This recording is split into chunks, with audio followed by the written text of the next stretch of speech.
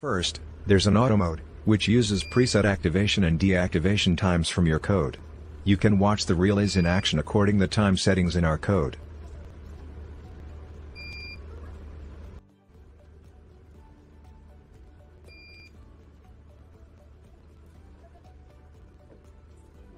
For the second option, we have manual controls. Simply navigate to the IP address initially displayed on the OLED screen to access the control buttons. This feature is accessible via both mobile and desktop device. Hello and welcome back to yet another amazing tutorial on Maison Up. Today, we embark on an exciting journey to create an advanced smart socket that can update its software, automate operations based on your schedule, and provide real-time feedback, all without the hassle of apps or RTC modules. Sounds interesting, right? Let's dive in. To start, you'll need to gather some essential components. Here's our list. Node MCU Wi-Fi module, an OLED display, AC to DC module, active buzzer, two relay modules, three AC sockets, three switches and lastly, some connecting wires. Building the enclosure. Once you've got all your components, it's time to create the housing unit for our project. Our smart socket deserves a sturdy and stylish home. We'll use a 3D printer to craft both the front and back panels.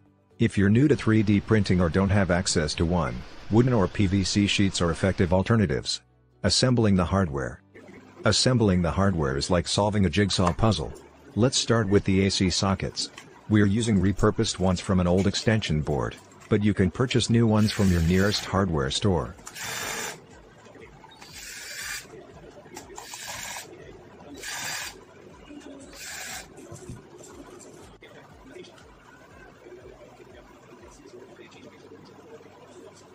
Next, we'll add three switches for manual control and feedback. In our case, we will be using these fantastic 12mm metal switches. They have a built-in LED indicator and are water and dust proof. Feel free to choose any that are available to you.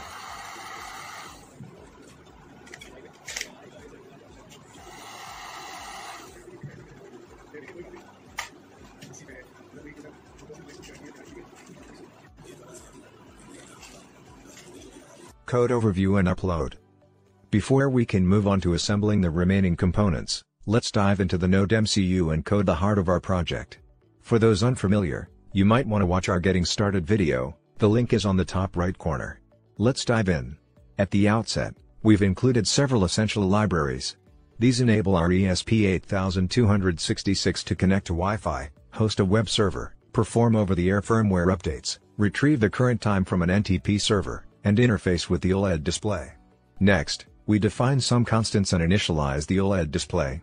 Note the SSID and password, which are your Wi-Fi credentials. Ensure you modify these to match your own network. The client is initialized to fetch the current time from pool.ntp.org. Additionally, arrays for days and months are set up for our clock display. Pins for CO2, buzzer, and light are defined. Customize the variables as you see fit for your project. Following this, we have set the activation and deactivation times for both CO2 and light. The core logic activates the CO2 and light relays based on these times. However, there's a twist. Users can manually override this automated action through a web interface. Once overridden, the automation halts for a set duration, 30 minutes in our case. Feel free to change to your need. We've also set up global variables to track the current time, CO2, and light statuses, manual override flags, and buzzer timings. Define your preferred activation and deactivation times in a 24-hour format to test this feature later. We've designed several utility functions for specific tasks. Buzzer on and buzzer off to manage the buzzer. Wi-Fi connect to link our board to the Wi-Fi and provide feedback on the OLED. Clock display to showcase the current time. Text scroll to display scrolling text. CO2 activation and light activation for time-based activation and deactivation. Buzzer status for the buzzer alert when CO2 or light states change. Display CO2 status and display light status to display the CO2 and light statuses. Within the setup function, we begin our serial communication, launch the web server, and establish endpoints for manual control. Users can access the root URL to control CO2 and light or even update the firmware. For automation, the setup also initializes the OLED, sets the pin modes, connects to Wi-Fi, and activates the NTP client. Lastly, we call all the necessary functions within the loop. Uploading the code. After tweaking the code to your liking, integrate it into the MCU. It's like teaching our socket how to think and act. Choose the correct board and port, press upload, and wait a moment, it might take a few seconds to compile and upload.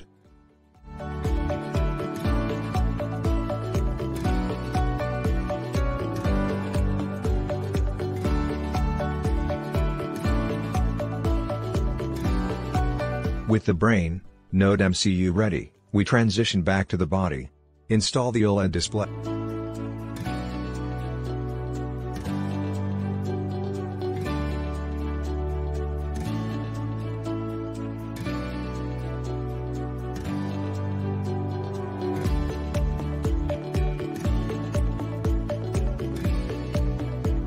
AC to DC module.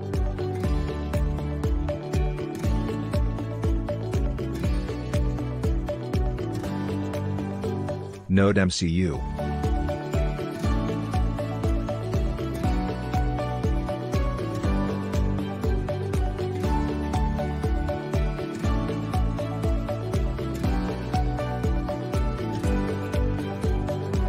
And relays using hot glue or double-sided tape. Ensure secure and safe connections.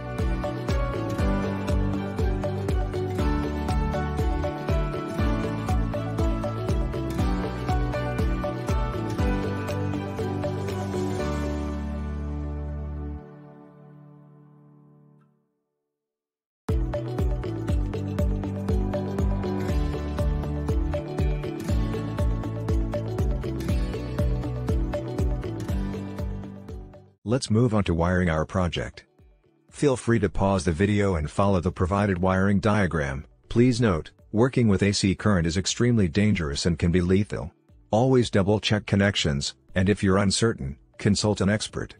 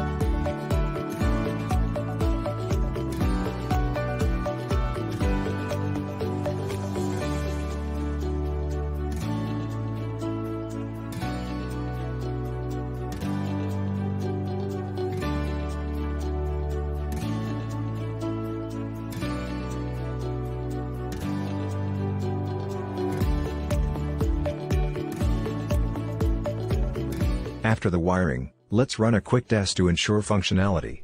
As you initiate, you'll notice the relays and OLED spring to life. Once satisfied, add a touch of creativity by making the socket wall mountable, drill a hole in the back and secure the back panel with screws. Test your assembly one final time. The OLED should light up, and components should operate as programmed. If issues arise, troubleshoot them, this phase confirms your diligent efforts result in flawless operations.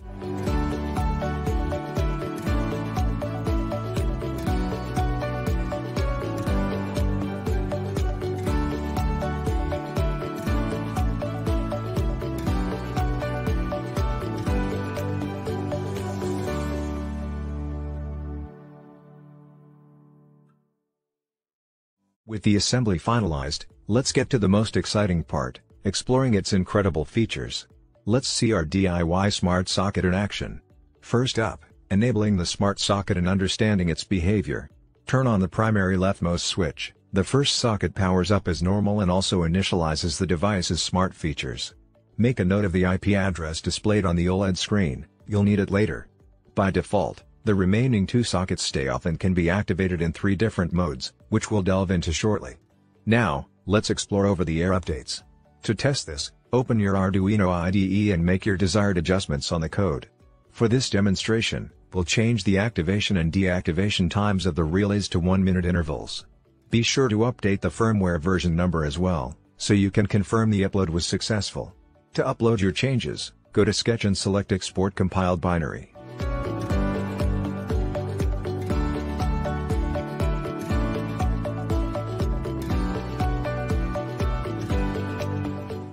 Next, open your web browser and go to the IP address you noted earlier, appending forward slash update at the end.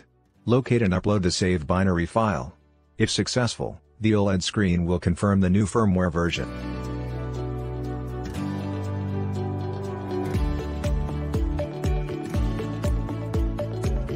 Let's move on to the remaining two sockets. As we discussed, these can be operated in three ways. First, there's an auto mode, which uses preset activation and deactivation times from your code. You can watch the relays in action according the time settings in our code.